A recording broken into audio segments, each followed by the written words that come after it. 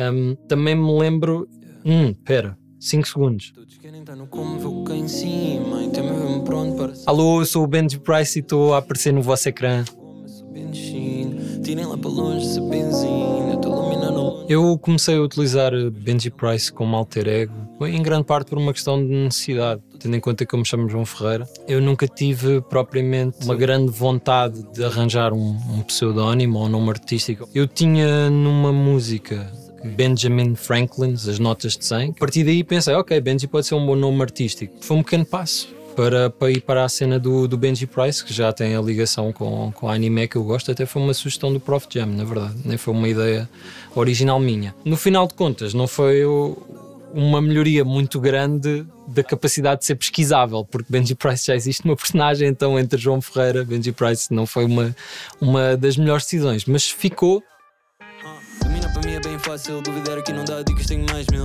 Não é novidade. Cheguei a um ponto na minha carreira em que eu sentia que já não havia muito mais para eu fazer enquanto produtor. Não é que isto signifique que eu vá desistir, não todo, isso é uma parte essencial de, de, quem eu sou e continuará sempre a ser. Chegas a uma fase da tua vida em que tu já fizeste tanta coisa para tanta gente e ainda tens ideias que tu gostavas de pôr cá fora começas a pensar, opá, se calhar posso fazer eu. Vou, vou simplesmente agora tirar um, um momento para fazer só a minha própria música, explorar esse meu lado enquanto tu rapper. Não que eu me sinta particularmente um rapper, eu gosto mais de me considerar simplesmente um, um músico. A realidade simples e crua é mesmo apeteceu-me fazer música por mim mesmo.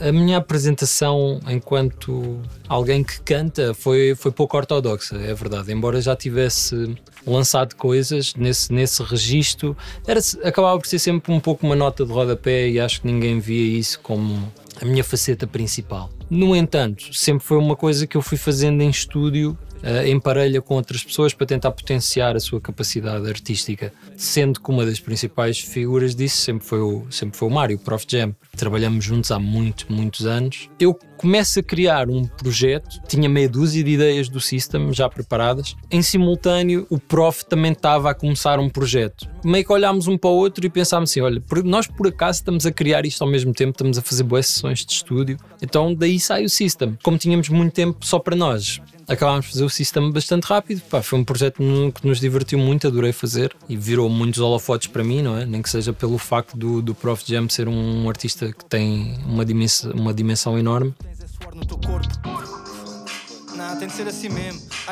Eu tenho uma forma muito obsessiva de fazer as coisas. Se meti na minha cabeça no dia antes que eu tenho que estar às 9h30 no estúdio, se eu chego lá às 9h45, eu já acho que o meu dia foi pelo cano abaixo. Eu não gravo sons sentado, já chega. Eu, se não fosse músico, provavelmente trabalhava em cinema. Dentro das artes, a segunda coisa pela qual tenho mais paixão. Eu não me vejo a fazer mais nada que não um trabalho relacionado às artes.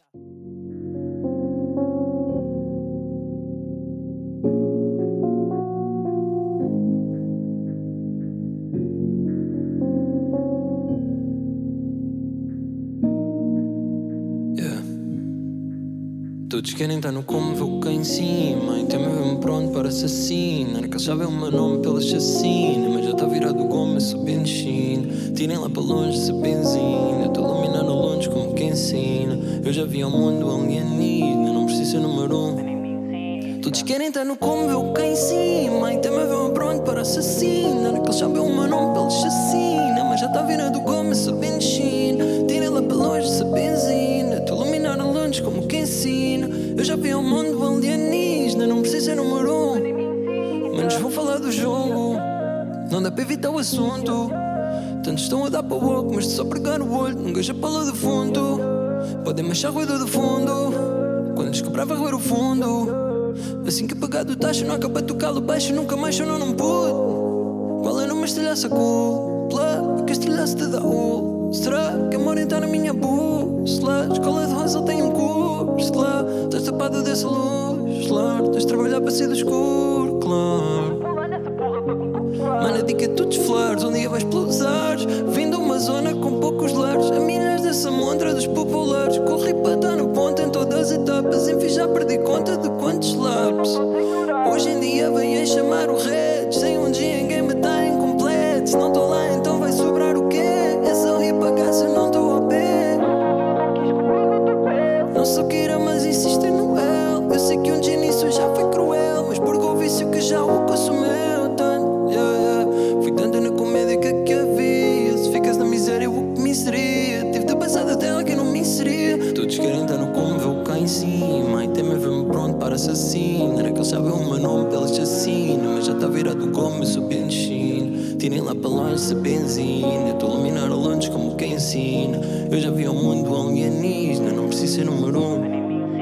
Todos querem estar no como, ver o que em cima. E também ver pronto para assassino. Naquele sabe o meu nome pela chacina. Mas já tá virado goma, eu sou benzina. Tirem lá para longe essa benzina. Estou a iluminar a longe como quem ensina. Eu já vi o mundo alienígena, não preciso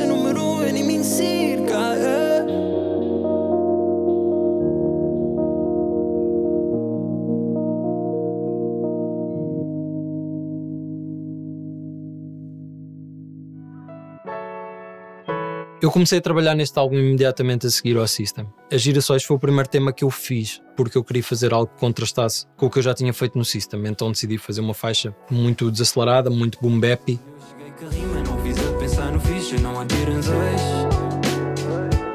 Daqui o salto para, ok, também é a primeira cor que eu vou querer mostrar ao público. Espero que isso tenha sido recebido, esse, esse contraste. Mais um aspecto de, pá, da minha capacidade artística. Acho que aquilo contrasta mesmo muito com outras coisas que eu tinha feito antes.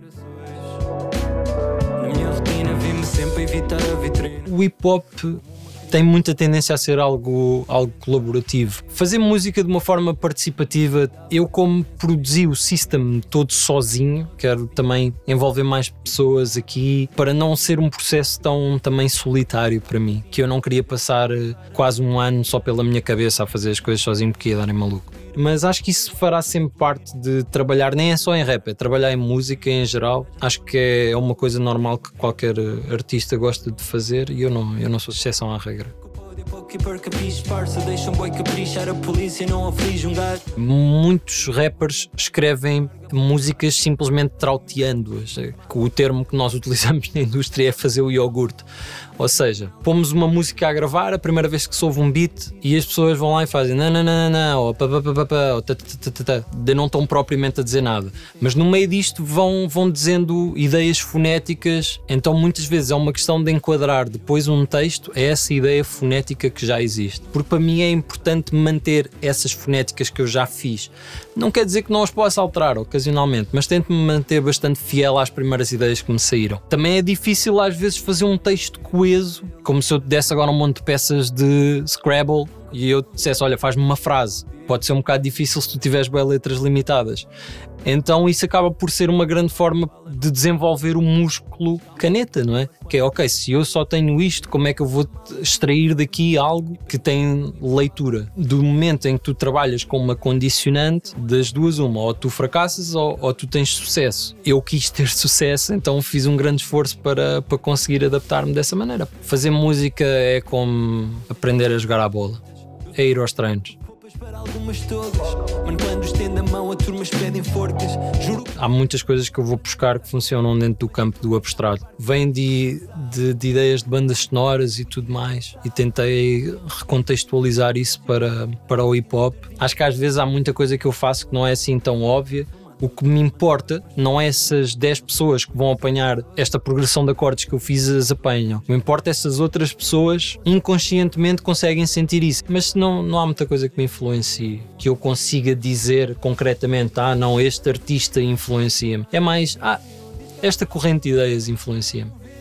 Quando eu cheguei com a rima, não fiz a Nunca ninguém me diz, ah, sim, definitivamente o meu álbum acabou agora. 99% dos casos é mais, olha, eu já não sei o que é que é de fazer mais. Eu também nunca acabo as minhas obras, eu simplesmente desisto. Não de uma forma literal, obviamente, nunca nos vamos sentir completos com algo que fizemos. Na vida, não só na música. É rara e efêmera a sensação de, ah, agora é que isto está bom.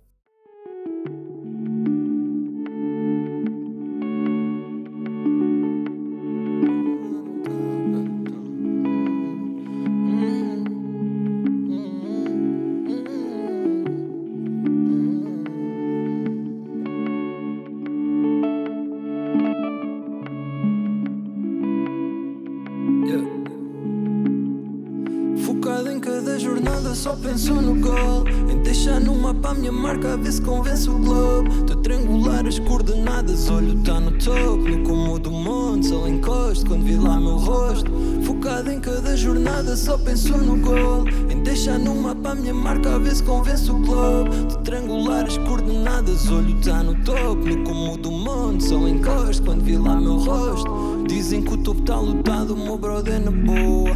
Com cinzel XL eu abro espaço para manobra. Miguel que o bloco aqui traga, eu vou esculpir um homem. Minha pele extraída do mármore para me unir à montanha. A Dúcia eu dei parábola, escolhi apóstolos. Me ajudaste a vaciar comigo só os móveis. Para lhes iluminar a estrada, eu meti no postos. Hoje estou a renegar a prata, estou a ouvir ao longe. Sempre me perguntei porque é que não existem muitos adjetivos relacionados com fogo. E eu um dia estava a ver uma anime, eu vejo lá aparecer nas legendas, ah, não sei o que, ígneo. Ok, ígneo tem lá ígneo, a palavra grega ou romana, ou quer que seja, de fogo. Ah, aquilo que tem a ver com fogo. Eu, título do álbum, está decidido, é mesmo isto.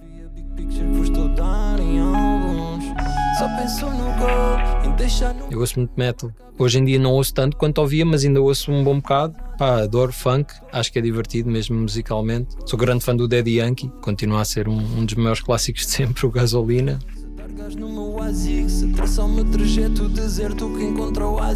Eu consigo me lembrar muito graficamente da primeira vez que eu vi um, video, um videoclipe da, da Crazy in Love da Beyoncé. Lembro-me de estar a ver Sexy Back do Justin Timberlake, dos singles do Eminem Show. Eu consigo me lembrar de bastantes momentos da minha vida em que estava um vídeo a passar na MTV. Eu fico muito contente por poder estar nesta posição agora, porque eu lembro-me de ser miúdo e passar horas com a MTV ligada. A MTV continua a ser uma, uma marca emblemática e que e também acaba por cumprir uma pequena fantasia de, de criança e de pré-adolescente que eu tinha quando estava a ver videoclipes a passar na MTV na, na, na TV de minha casa. Então associo isso a muitas memórias boas.